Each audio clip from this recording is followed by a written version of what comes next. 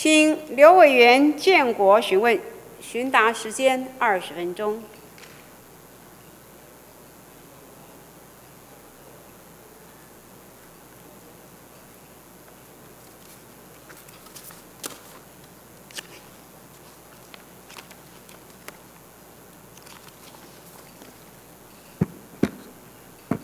呃，谢谢主席，有请两位呃准提名人。两位正副院长被提名人，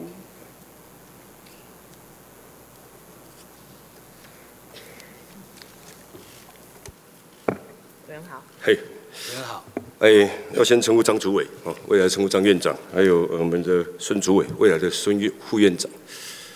呃，个人表示对你们两位的敬重了哈，因为毕竟可以被现任的总统提名为监察院的正副院长，已经其其有来一定的资历跟经验。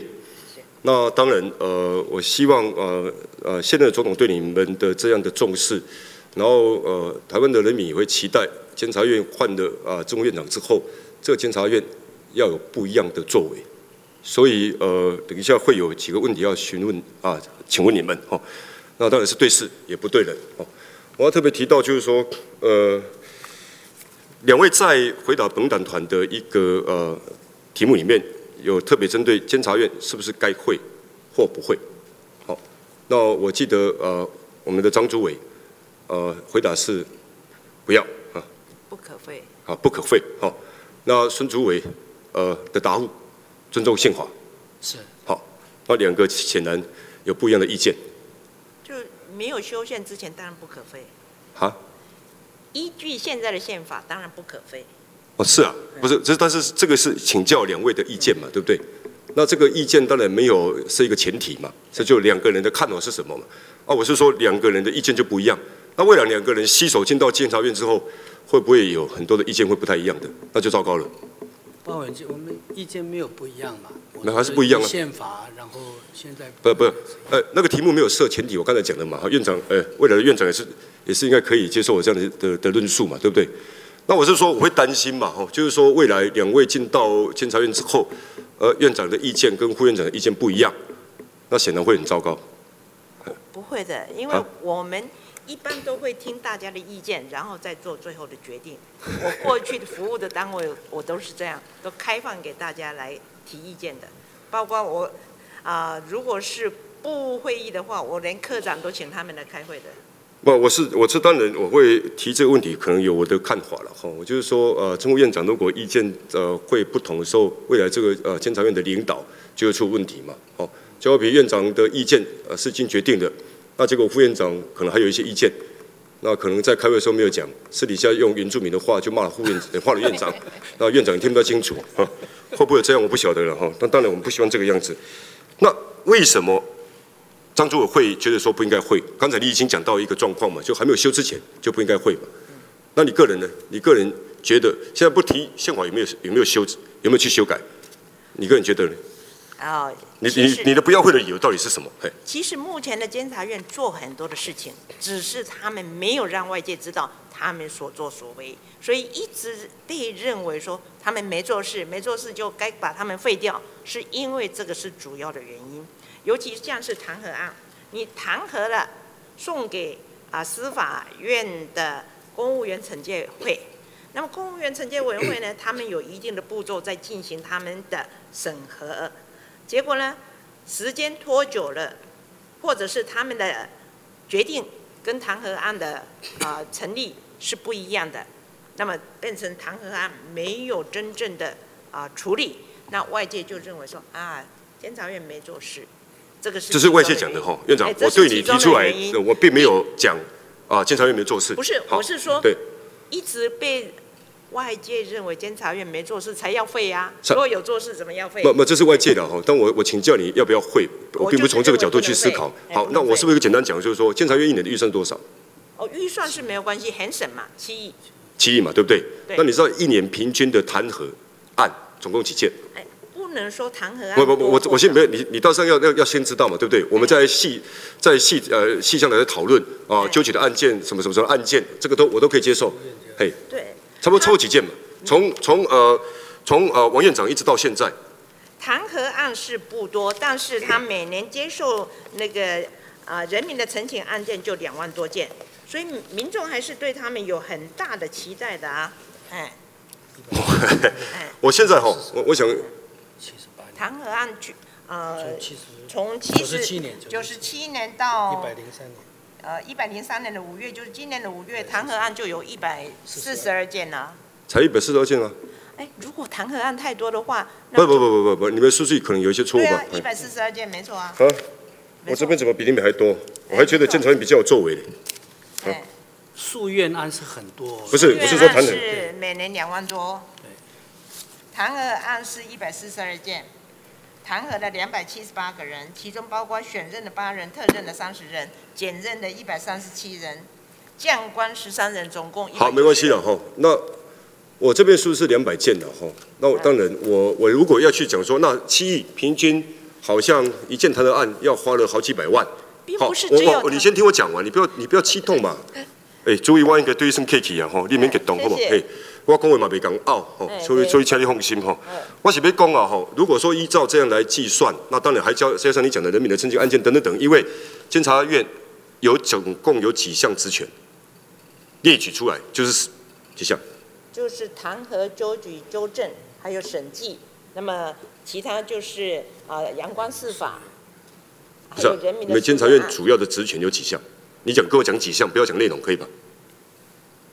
就是纠纠举案、纠正案、弹劾案，然后还有啊、接受诉愿的处理，然后是阳光司法，这个都是他们的职权啊。好，OK，啊，哎总共几项？我只是问你几项，我没有问你内容啊。加起来就九项了。九项不知道。依照宪法征修条文第七条规定，应该是有十四项的职权。哦，我们当立委有职权有几项嘛，对不对对？一般的民意代都有一个职权，总共大致上有几项嘛？对那我这边是十四项了，哈，对，你这九项，那个司法把它再分开来，就还有啊，还有审计权啊。我是依照法律来跟你讨论的哈。你要怎么分这个？你当了院长之后再分吧，哈，应该是这样的哈。那这十四项里面，那当然啊，在纠举、弹劾、纠正等等等，还有人民陈陈情案，在七亿的经会里面，基本上我们还是会看到这所有的职权的各项的绩效，好啊，成立的案件，然后去换算它的一个主要的一个经费的成本嘛。哎，不够还是要增加给你们。如果今天监察院是因为经费不足的话，那我觉得应该是要办理追加。你当了院长之后，应该去做改变的。所以我是我是要跟你讨论的，就是说，如果如果今天你当了院长，还有呃孙主委当了副院长之后，这个监察院要什么彰显功能？要不要从预算的角度去做思考？好、要不要从很多的历年来王院长的任内，这十四项职权，你们在执行过程里面，就刚才你看的那个数据，去做了一些调整。也简单讲，监察院到底你们两位当了监正副院长之后，要不要改革？要改革从哪边开始改革起？你第一认为要不要改革？如果要改革，要从哪边做起？是不是可以简单讲一下？我觉得职权的内容并不需要改变，而是职权在处理的过程当中所涉及的法令规章，有些是需要调整的。所以执行面你觉得是必须要调整。那现今的职权职权是是宪法赋予的，好当然就不需要去做调整但是依照你的比重，你会会会怎么去做调整？这个你要不要简单去回答一下？哦，目前我还不知道，但是我是说处理的内容如果涉及法令规章，好像我刚刚也曾经答复过的，就像弹劾案，你送到司法院的工程会的时候，如果他跟你拖久了，拖久了，或者是他的啊、决定跟我们弹劾的内容是不一样的，那人家以为说，哎，监察院说弹劾，结果是零啊，啊，像这种法令规章是不是要跟司法院有所沟通，让这一个工程会的处理的程序能够有效率一些啊，不要让监察院背黑锅，这也是一个法定规章所应该要处理的范围之内。那个是在院长你诶诶在主委你现在的讲法里面呢，就是未来的执行面的这一种处理的方式。但是呃，我我我要我要讲这个问题，可能我要延伸到有关于监察院有相关的适用的法律，你知道有有有有有有几项吗？它有呃宪法的规定，有监察法，有啊审计法，还有其中的一些个呃细则都是啊，嗯，还有啊呃阳光司法。包括公职人员财产申报法、公职人员利益回避法。你知道有一个叫监察院监察委员行署行署办事细则吗？抱歉，监察院监察委员行署办事细则有有有，监察法跟监察法的施行细则都那 OK，那这个监察院当时依照这个细则，全国划分为几个监察区？它是分区巡查，对，划哎当依照这个细则，嗯划成几个监察区？金应该是还有金马吧？哎，因为这个我我我刚才直接就跟你讲了哈，他画十七个监察区的，那你知道为什么画十七个监察区吗？这个我不不清楚嘛，哈那我就必须要跟院长讲要改革了这像这种东西就必须要改革，因为它是按照当时中华民国在中国在大陆的时候，依照三十六层哦，去划成那个就要十七个监察区如，果这个就要改，对啊这个我同意。该改嘛，哎，这个我同意。不止这个呢，还很多呢。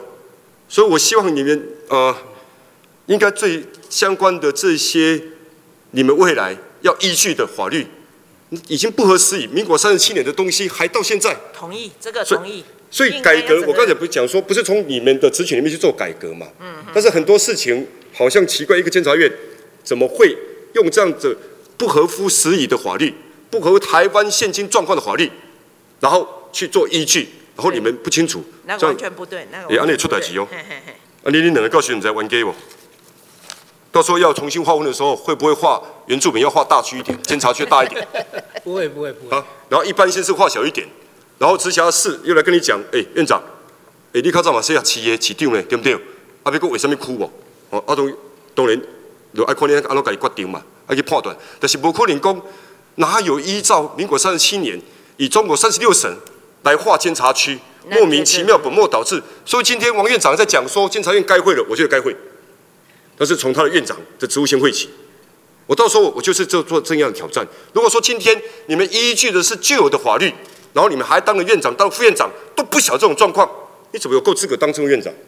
啊，如果有这种旧的法令规章的话，我提醒你哦已经不止哦已已经不止了嘛，对不对？对，哦这个一定要。所以当你我们要去监察，我们到到当你对人家去提出纠举的、弹劾、纠正的过程里面，我们自己引用的法律都已经不合时宜，我们怎么去做事情？对，好，我只是讲讲讲一个点呐，哈，其实这个点可以延伸很多事情。时间关系，我剩下七分多钟好，我要再请教副主委，你知道在九十四年、九十六年的时候，那个时候我不晓得你有没有当主委了哈，我不太清楚哈没有。但是这个事情你也必须应该有听过关心，就是原住民他有一个啊人力上就业的建制系统，是对原民呃原住民有一个计划，是是？对，有个计划。那这个计划你知道啊执行什么状况？呃然后后来遇到什么状况？我我我印象里，因为那个时候我还没去了哦，我一我是九十八年才才到圆明会，所以我我只知道是后来他有呃完了以后，他的执行跟更新的部分哦，那些资讯更新的部分呃有问题，所以要让他能够处理问题跟反映现实是有一些落差。后来呃圆明会有有去把它加以重新的呃呃呃这个整合。呃，让它能够能够能够运作啊。我我了解的状况是，有运作吗？呃，我印象里边后来经过调整以后是有运作，对啊，有运作。对不起，你什么时候就任原住民的主委九十？八原原住呃原原民会的主委？九九八十八年，好，啊，到几年卸任？呃，去年去年，去年一零二，呃，二零一二，对，二零一二的七月二零一二是一零一啦。啊，好，二零二是一零一嘛，对不对？去年嘛，去年二零一三好，OK。我简单可以提醒哦，九四年九月到九十年二月，总共花了我们人民纳税钱一亿九百六十万，发包分了三期，做两期之后夭折，然后彻查，显有官商勾结，后来监察院提出提出纠举，那纠举之后要求他们限期改善，因为这个叫做建制原住民人力资料库暨职场安全网计划，因为设有未尽职责，及效能过低情事，所以被行政院被提出纠举，然后再来再重新办理一百年，再重新办理花包，一百零二年一月一日完成内部的啊叫做什么就业服务员专员啊资料库，从啊一百零一年都是在你的任内哦。八月二三开始启动人力资料库，某家公司得标两年一标，但是后来到一百零二年七二三被解约了，解除。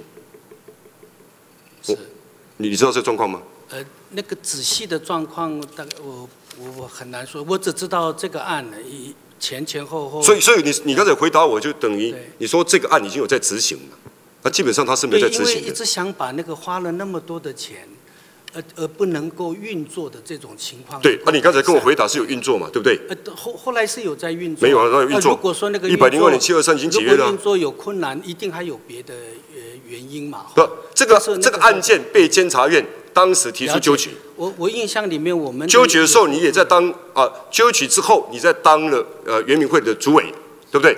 然后这个案你现在卸任的，我提醒你，到现在是没有办法依据当时所花包之后可以建制的这资料库，去让我们原民会去做任何的一个参考 data 的相关的资料。那你跟我讲说已经有在处理，这不对的了哈。我是提醒你。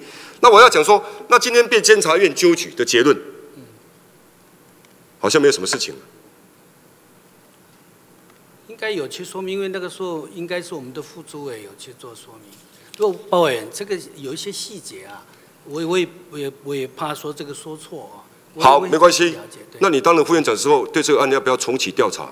这个呃，如果他有这样的弊端，呃对不对如果花了人民的一多钱，针对原住民的整个职场上的一个能力建制的安全网，那当时的监察院曾经纠举，那进去之后，就是因为政府没有效能，未尽职责，那也没有相关的官员被惩处，那可能后来就是解约的，那钱有没有追回来？那没有追回来，相关的人员是不是要惩处？你当了副院长之后，你要不要针对这个案子重启调查？我会去了解，好不好？我会注意去了解，你要去了解而已。那了解之后呢，没有作为。就就看情看实际的情况。看实际情况，如果就就像像我讲的这种状况了，该不该重启调查？如果像委员所提的这么这么是这样的状况，当然就应该要去了呃去调查了。我我会但是我觉得前提还是要去了解，因为呃这个很多的细节啊，应该要要要要弄清楚才行。因为对了这个也是一个人权的保障嘛。当然要弄清楚啊。当然弄清楚之后，我是想说，我到时候跟你讲有这样的一个过程。那如果当你当的副院长之后，这个案曾经也被监察院纠举过，反而我们政府没有办法去追讨这笔款项回来，然后当时所建制的这些人力的安全网、这些 data 资料，我们政府没有办法可以依照他当时建制的，因为三期他只有做两期，也没有办法去做任何的一个参考的性质，那就白白浪费了人民纳税钱。那相当时相关的官员怎么都没有什么事情。好，后来我知道有在另外另一个新案呐、对，那个时候应应该是因为要挽救这个那么那么庞大的资料。但是哪有另一个新案前案就，哎，不了了之？怎么可以这个样子呢？那监察院的纠举什么什么功能？所以我在提醒这一点，也是跟院长未来的院长提醒这一点。如果监察院的纠举是这么样的，我上面逮起，那你也不用纠举的，倒不如把一些成本花费在别的地方还比较好。所以我说监察院不改革很奇怪，那你到底要从什么地方改革？不是只有依据相关的法律就有法律做改革，还有你们针对你们十四项职权，甚至你讲院长你所讲的，哦，可能在延伸了其他的相关的职权。如果有些资源根本就没有作为，就没有办法去贺阻公部门在整个行政啊机关啊在作为的过程里面，去得到应该有的错误的惩罚，还是说未尽职责的这样的一个处理的话，我觉得有些事情是应该去做一些调整了。好，我不希望现在的一个监察，诶，未来的一个监察院跟现在啊王院长所领导的监察院是一模一样。安尼就换汤无换药啊，那台语佫讲佫较佫较歹听啦，吼，吼，啊，所以咱嘛毋好囡仔你穿大衫就对啊，还是囡仔你捧大车，吼，台湾就安尼尔，台湾即摆歹势开请教者，那倒起来以后，台湾是几个县市啊？呃，六个直辖市，啊 院长，你回答我偷偷就好了，嗯啊，你回答我偷偷就。还是二十二个啊啊？，total 还是二十二个？哪有二十二个没有吧？有啊，怎么会二十二个？它是六个直辖市，三个省辖市啊，啊还有其他县。全呃全部的包含直辖市、省辖市，括金门马祖啊，好，对啊，是是22个二十二个，嗯，你确定哦？确定。那啊啊，原本是多少个？还没有变成五都之前桃园是直升的啊，对，桃园直升啊，新北市合并直升啊，哎对啊，但是台南县市是合并，那个以前就合并了，不是现在合并的。我我我说现金的啦，现金的对，二十二个是吗？是应该是八吧？没有那么少了。没有那么少吗？